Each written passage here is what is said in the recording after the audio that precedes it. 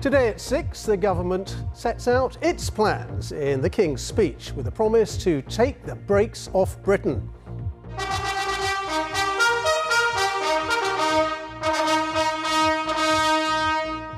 Amid all the pageantry of the state opening of Parliament, measures were announced to free up the planning process, to nationalise the railways, and to improve the rights of renters and workers. Trumpets, fancy outfits, and a hefty set of planned new laws, we'll try to explain what the new government is up to and what people make of it. Hello, good evening. King Charles has been setting out the new government's plans at the state opening of Parliament. 39 bills which Labour say will help to boost growth and take the brakes off Britain. Well, there'll be reform of the planning system to build new infrastructure and housing. The railways will be nationalised. More powers will be devolved in England to local leaders, control of bus services, for example.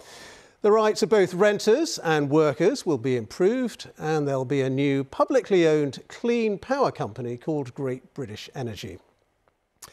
Well, the King's speech was unveiled in Parliament on a day full of pomp, pageantry, and traditions dating back centuries. And our political editor, Chris Mason, was watching. Chris.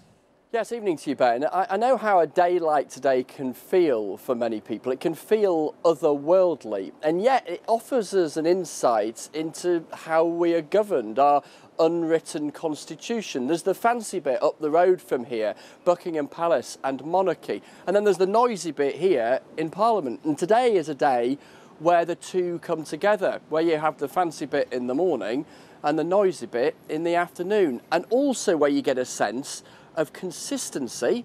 That's the fancy bit. That's all of the stuff that we've been used to for centuries. And then change a very different House of Commons. Here is the story of the day. No space for passing traffic on a day whose rituals predate the motor car. A count them six horsepower carriage, the King on board. Much of all of this unchanged in years. Morning, Prime Minister. But here's a bit not seen in a while. These are the plans to be unveiled today of a Labour Prime Minister. This, then, their election promises, or at least some of them, today with horses, fancy dress, and trumpets. A parliamentary official known as Black Rod, no matter how quickly she walks, gets the door to the Commons slammed in her face. Black Rod! To symbolise the independence of the House of Commons. And so to the speech, written by the government, read by the King. My government's legislative programme will be mission led and based upon the principles of security, fairness, and opportunity for all. Stability will be the cornerstone of my government's economic policy. A knowing smile from the new Chancellor being trusted to manage the economy and firing it up is key for Labour. And here's one big way they hope to do it.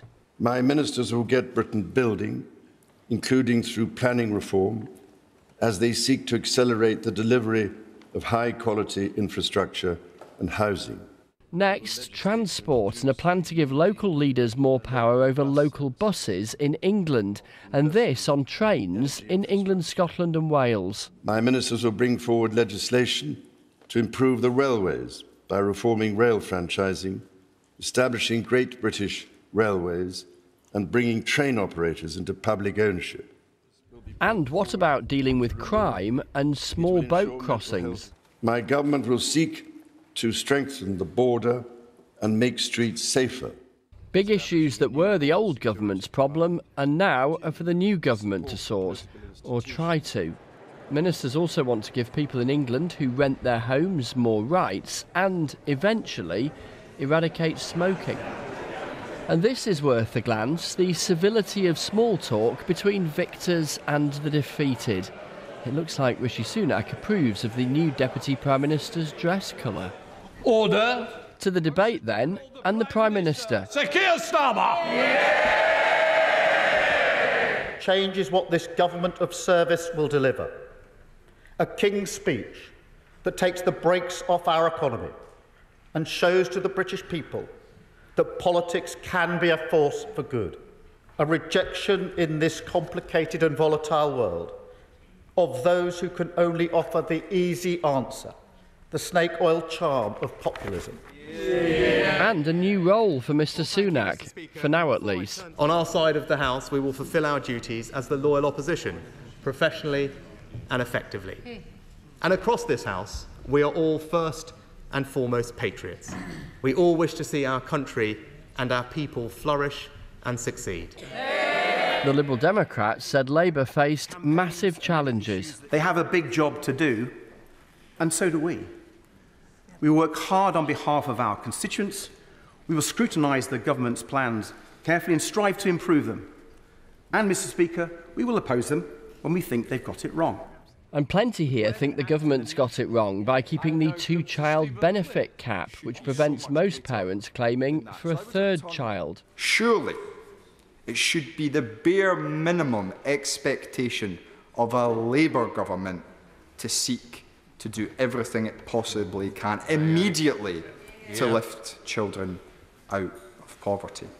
And Reform UK aren't impressed either. More taxes, more bureaucracy, more regulation. All this talk about energy, more renewable energy will add to, add to costs, we'll have more expensive energy. This is a programme that will lead to lower growth and people will get poorer. The fanfare departing, the politics returning. The ceremony doesn't change much, but boy, the House of Commons has. Chris Mason, BBC News, Westminster. So, as we've heard, the new government says housing is a key priority.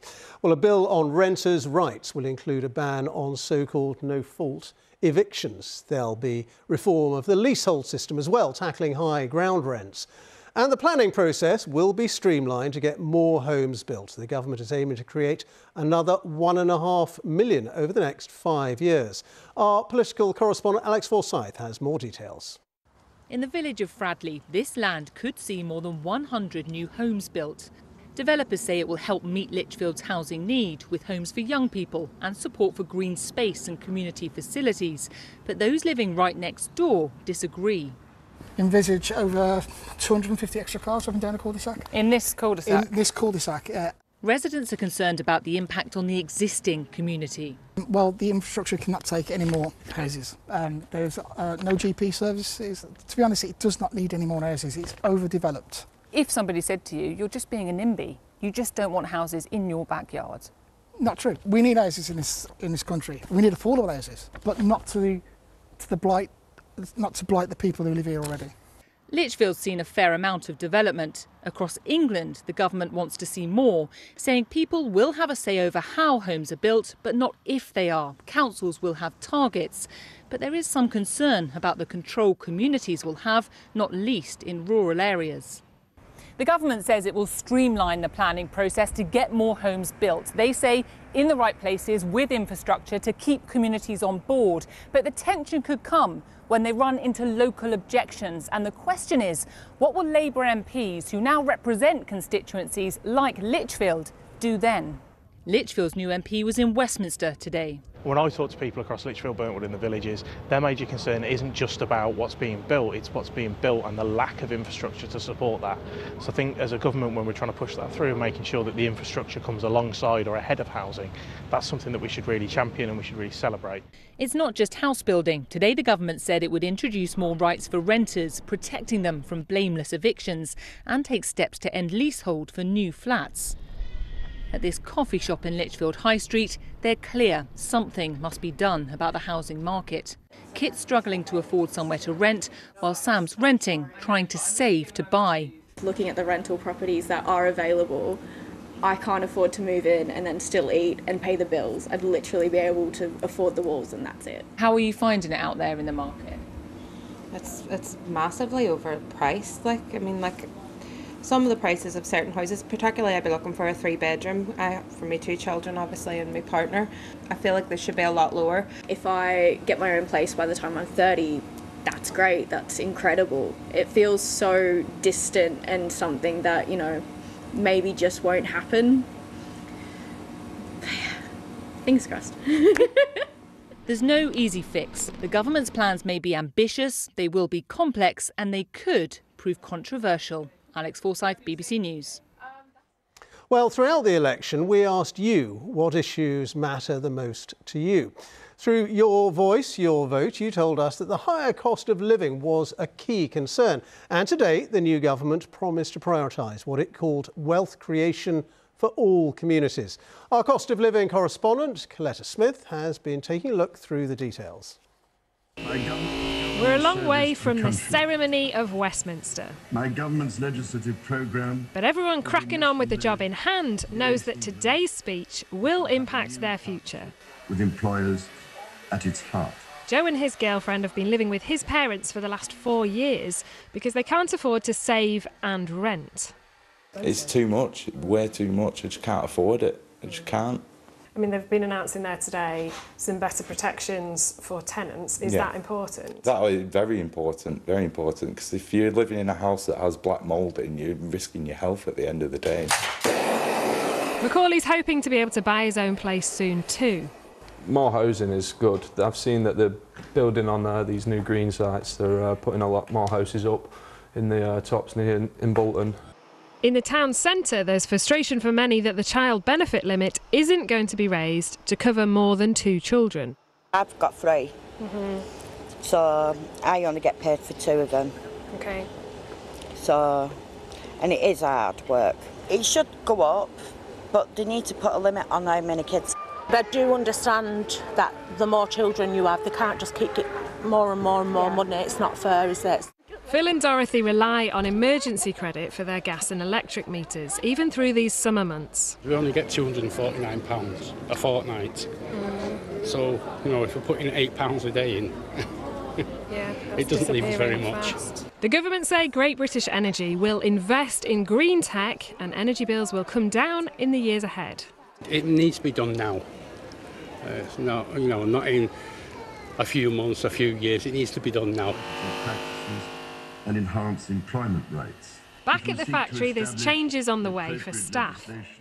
To have someone, you know, appear through the door on day one and them end up with exactly the same rights as someone who's been here for 30 years. But it is very, very difficult to be a small business employing people on a fair basis. I won't even be able to get my deposit for my house. With so many struggling to pay the big bills in life, today's speech doesn't feel like the immediate boost many had hoped for. Colletta Smith, BBC News in Bolton. Well, on transport, the new government is planning to renationalise nearly all passenger rail services when existing contracts expire. And local councils and authorities will be offered the responsibility of running buses in their area. There are also plans to bring new rail infrastructure to Northern England. With more on all of that, here's our transport correspondent, Katie Austin. Katie.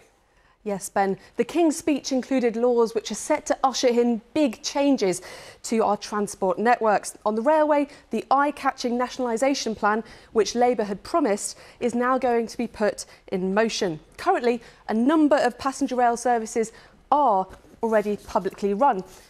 But when private operators currently hold contracts, they'll be brought under public control as they expire over the coming years, or the government says if they don't fulfil commitments. So don't expect it all to change overnight. A new arm's length body called Great British Railways will bring together the management of tracks and other infrastructure and trains. It'll probably take at least 18 months to set up, although there'll be a shadow structure in the meantime. It'll be tasked with improvements, including simplifying ticketing. Labour says its plans will save money and make things more joined up. Private operators warn costs could increase. There was also a law announced on buses, Britain's most used form of public transport. Services have been in long-term decline. New powers will allow local leaders in England to take control of services in their area through a process called franchising, recently introduced in Greater Manchester. And a ban on new publicly owned bus operators will be scrapped. The government thinks this will help local communities get the services they need, but it may not work everywhere. The government made it clear today it will not reverse Rishi Sunak's decision to cancel the second phase of HS2 to Manchester, but a parliamentary bill will be repurposed so other rail links in the north of England can be built. Ben. Katie, thank you very much indeed. Katie Austin there. Well, there were a host of measures announced in the King's speech today, including plans to make spiking somebody's drink with a drug a specific offence, a gradual ban on smoking, and a bill to improve water quality, making water company bosses personally liable for breaking the law. There's to be a new border security command to crack down on people smuggling gangs and a measure called Martin's Law, named after one of the victims of the Manchester Arena bombing and aimed at improving security at public venues. Well, in a moment, uh, our political editor Chris Mason is going to be giving us his assessment of the King's speech. First, though, let's go to our economics editor Faisal Islam, who's at the Treasury. And Faisal, wealth creation at the heart of the new government's promises. Is that easier said than done? Well, we heard that word growth in the King's speech multiple times, and every government says it wants growth. This government says it's its fundamental mission. So that creates quite a bar to judge this government in the coming years. How do they say they're going to get this growth? By, if you like, tweaking the plumbing and the wiring of the economic system to attract the private sector in to invest. The private sector that the government say may have been put off by economic instability after the mini budget, political instability in those post Brexit years, policy instability that they can get around now that they have a big landslide majority. And while you can see that they've made those sorts of trade offs, painful decisions on planning, for example, to attract investment in housing and infrastructure and in energy, those trade-offs, well, will they stretch into other areas of policy? Some investors may want to investment in a factory that they can invest uh, and, and freely flow trade around Europe. Is that going to change? Some of those house builders may say, well, who's going to build those 300,000 homes a year? Will that change foreign worker policy? Other investors will wonder, are we going to get big public investment alongside this? So it's easy to say you're going to fix the economy it may not be a quick fix. Okay, Faisal, thank you very much indeed. Faisal Islam, there, our economics editor. And to Chris Mason, our political editor. Chris, 39 bills in this King's speech, but how ambitious do you think it was?